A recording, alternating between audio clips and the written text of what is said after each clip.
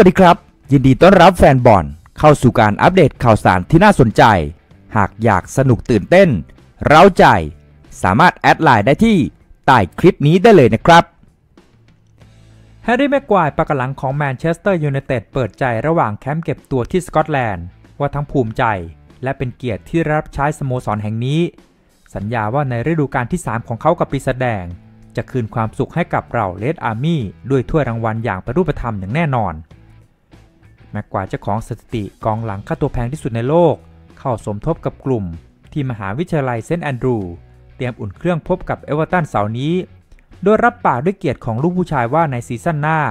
ทีมจะต้องมีแชมป์ติดมือ เพราะทรงมาดีแล้ว บวกกับการเสริมทัพแบบตรงจุด บทสรุปท้ายฤดูกาลต้องดีกว่าปีก่อน ที่ได้แค่รองแชมป์ยูโรปาลีกแน่นอน ผมมาอยู่ที่นี่ก็ 2 ปีแล้ว มันมีทั้งความภาคภูมิใจและเป็นเกียรติ ที่มีตราสโมสรอยู่อกด้านซ้าย ความทรงจำแรกๆในหัวมันตื่นเต้นมาก รู้สึกภูมิใจที่ได้ร่วมทัพสโมสรฟุตบอลที่ยิ่งใหญ่ที่สุดในโลก ผมเนื้อเต้นที่ได้มีส่วนร่วมและลงแข่งต่อหน้าแฟนบอลในโอลด์แทรฟฟอร์ดพบเชลซี นับเป็นความทรงจำนัดเปิดตัวที่แสนวิเศษ ในฐานะผู้เล่นก็ยังต้องพัฒนาตัวเองต่อไป ผมรู้สึกว่าทีมเราก็พัฒนาขึ้นด้วยแล้ว นั่นคือสิ่งสำคัญที่สุด เราเก่งขึ้นเพื่อชนะเกมฟุตบอล ตอนนี้ก็มีประสบการณ์กับแมนยู ผมมีแค่ 2 ปีก็หวังเป็นอย่างยิ่งว่า จะได้อยู่ยาวยิ่งไปกว่านั้น เรื่องการซ้อมผมมาได้2อสวันแล้ว มันเป็นการตั้งหลักที่ยอดเยี่ยม จริงอยู่ว่าสภาพแวดล้อมเต็มไปด้วยสนามกอล์ฟ แต่เราไม่ได้มาออกรอบ เรามาทำงานหนัก เพราะเวลาอีก 10 วันก็จะเข้าสู่ฤดูกาลใหม่แล้ว การเตรียมตัวก็จะทำจนถึงที่สุด เราต้องเอาให้แน่ใจว่าพร้อม มีสมาธิ และจิตใจแข็งแกร่งสำหรับยืนหยัดไปให้สุดทางบนฤดูกาลที่ยากลำบาก แต่ก็สร้างความบันเทิงในเวลาเดียวกัน แชมป์สุดท้ายที่แมนยูได้คือยูโรปาลีก 2017 ส่วนแชมป์ลีกคนสุดท้ายต้องย้อนไปถึงปี 2013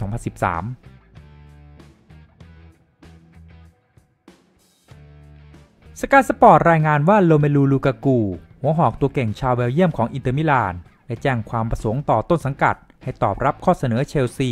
เพื่อที่จะได้ย้ายกลับมาเล่นในพรีเมียร์ลีกอีกครั้ง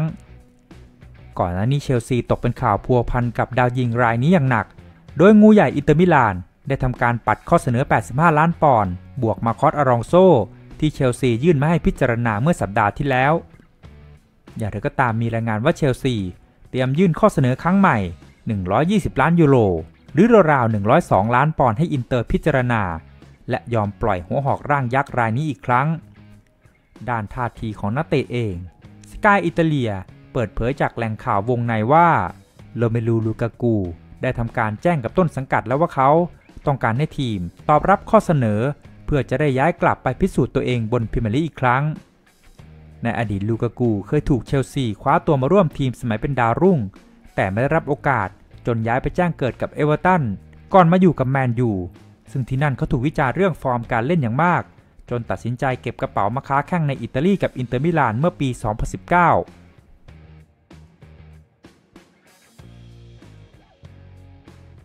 ราฟาเอลวารานเตรียมเดินทางไปเมืองแมนเชสเตอร์ในวันพฤหัสนี้ ตามการรายงานจากฟาบริซิโอโรมาโนแข้งทีมชาติฝรั่งเศสตกลงย้ายไปร่วมทัพแมนเชสเตอร์ยูไนเต็ดหลังปีศาจแดงตกลงค่าตัวกับเรอัลมาดริดได้สำเร็จ และมีการประกาศไปล่วงหน้าในช่วงปลายเดือนที่ผ่านมา โดยตอนนี้เหลือเพียงแค่ขั้นตอนการตรวจร่างกาย และลงนามในสัญญา จึงจะทำให้การย้ายทีมลุล่วง ล่าสุดคืนวันพุธที่ผ่านมาโรมาโนรายงานความคืบหน้าการย้ายทีมของวาราน ซึ่งสื่อดังชาวอิตาลีรายงานว่าดาวเตะวัย 28 ปีกำลังจะเดินทางไปอังกฤษ หลังจากวีซ่าได้รับการอนุมัติแล้ว หากเป็นไปตามการรายงานดังกล่าว วารานจะเดินทางไปแมนยู ในวันพฤหัสนี้ ก่อนจะกากตัวตามนโยบายของรัฐบาล จากนั้นจะเปิดตัวอย่างเป็นทางการต่อไป ทั้งนี้วารานตกลงสัญญากับปีแสดงไปจนถึงปี 2025 คำถามสำคัญคือสภาพร่างกายนักเตะ จะพร้อมลงเล่นเกมแรกในพรีเมียร์ลีกที่จะเจอกับลีดส์วันที่ 14 สิงหาคมนี้หรือไม่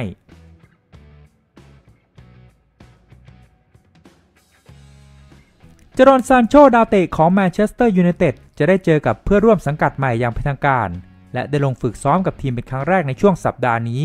แต่สภาพร่างกายจะฟิตพอที่จะลงเล่นเกมอุ่นเครื่องนัดสุดท้ายกับเอเวอร์ตันหรือไม่ ต้องลุ้นกันอีกทีเจดอนซานโชปีกตัวใหม่แกะกล่องของแมนเชสเตอร์ยูไนเต็ดเตรียมจะลงฝึกซ้อมร่วมกับเพื่อนร่วมสังกัดปีศาจแดงในช่วงปลายสัปดาห์นี้ หลังเสร็จสิ้นวันหยุดพักผ่อน จากการทำภารกิจช่วยทีมชาติอังกฤษในศึกยูโร 2020 ดาวเตะเลือดผู้ดีย้ายจากโบรุสเซียดอร์ทมุนด์มาเล่นในถิ่นโอลด์แทรฟฟอร์ด ด้วยสัญญายาว 5 ปีในซัมเมอร์นี้ ด้วยค่าตัวเบาๆสบายๆ 73 ล้านปอนด์หรือ 3,212 ล้านบาท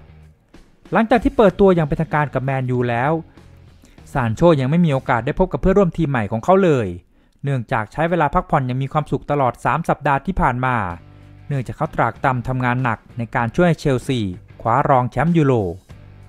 ตอนนี้มีรายงานว่าปีกวัย 21 ปี กำลังจะกลับมาร่วมฝึกซ้อมกับทีมเป็นครั้งแรก ในวันศุกร์ที่ 6 สิงหานี้ เพื่อเตรียมความพร้อมในเกมอุ่นเครื่อง pre-season นัดสุดท้ายที่จะพบกับเอเวอร์ตันในช่วงวันเสาร์ที่ 7 สิงหา ก็ยังไม่แน่นอนว่าซานโช พร้อมจะได้เป็นส่วนหนึ่งของปีศาจแดง ในเกมอุ่นเครื่องนัดสุดท้ายที่โอลด์แทรฟฟอร์ดหรือไม่ แต่ถึงกระนั้นนักเตะก็มีเวลาอีกหนึ่งสัปดาห์ ในการเร่งความฟิต ก่อนเกมที่แมนยูจะดวลกับลีดส์ยูไนเต็ดเกมลีกนัดเปิดสนามสัปดาห์หน้า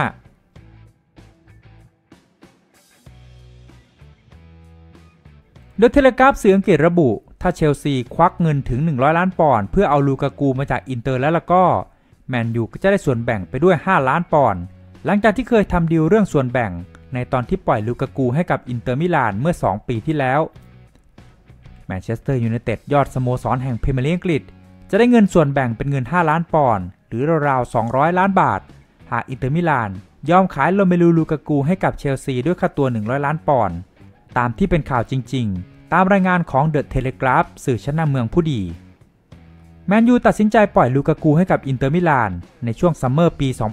2019 ด้วยค่าตัว 80 ล้านยูโร หลังจากที่ฟอร์มของเขากับที่นั่นไม่เป็นที่ประทับใจเท่าไหร่นัก แต่ในตอนที่เล่นกับอินเตอร์ ดาวเตะชาวเบลเยียม สามารถโชว์ฟอร์มได้อย่างสุดยอด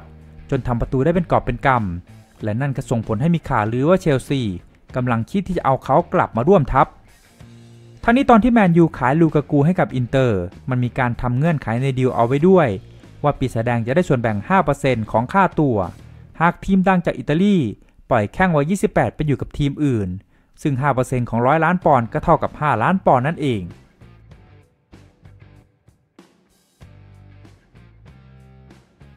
นิวคาสเซิลกลายเป็นตัวเต็งที่จะเซ็นสัญญากับฟิลโจนส์ ดาวเตะตัวสำรองของแมนเชสเตอร์ยูไนเต็ด คู่แข่งในศึกพรีเมียร์ลีกในตลาดนักเตะซัมเมอร์นี้ตามการรายงานของแมนเชสเตอร์อีฟนิงนิวส์เซนเตอร์แบ็กวัย29 ถูกคาดหมายว่ามีสิทธิ์ที่จะย้ายทีมในซัมเมอร์นี้ หลังจากที่เพิ่งหายจากอาการบาดเจ็บหนักเมื่อฤดูกาลที่แล้ว ในขณะที่ยังเหลือสัญญากับต้นสังกัดอีก 2 ปี ฟิลโจนส์กลายเป็นที่สนใจของหลายทีมในพรีเมียร์ลีก โดยมีไบรตันเซาท์แฮมป์ตัน และเวสต์แฮมยูไนเต็ด ที่กำลังจับตาสถานการณ์ของเขาอย่างใกล้ชิดอย่างไรก็ตามบริษัทรับพนันถูกกฎหมายในอังกฤษก็เชื่อว่านิวคาสเซิลกลายเป็นทีมที่มีภาษีดีที่สุดที่จะคว้าตัวแนวรับปีศาจแดงไปร่วมทีม แต่ก็ยังไม่ได้แจ้งว่ามีอัตราต่อรองเท่าไหร่ รายงานระบุว่าสตีฟบรูซชื่นชอบการเล่นของโจนส์เป็นการส่วนตัว และเขาก็เคยทาบทามรุ่นน้องแมนยูรายนี้มาแล้ว เมื่อครั้งที่ยังเป็นผู้จัดการทีมที่แอสตันวิลล่า ในขณะเดียวกันไบรตันก็เป็นอีกทีมที่พร้อมคว้านักเตะใหม่ เข้ามาในตลาดซัมเมอร์นี้เช่นกัน หลังจากที่พวกเขาเพิ่งทำเงินจากการปล่อยเบนไวท์ให้กับอาร์เซนอลไป 50 ล้านปอนด์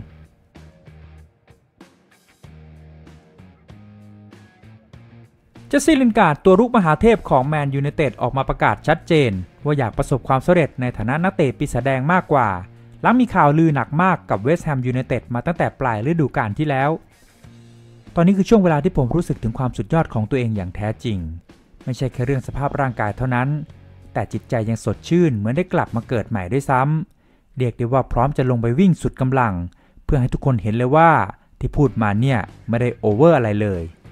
ตลอดเวลาที่อยู่กับเวสแฮมผมมีโอกาสลงสนามต่อเนื่องทุกสัปดาห์ และเมื่อทุกอย่างดำเนินไปด้วยดีต่อเนื่องแบบนั้น ความมั่นใจจึงสูงขึ้นตามธรรมชาติ นั่นคือเหตุผลว่าทำไม ผมถึงยิงประตูและทำแอซิดได้เยอะ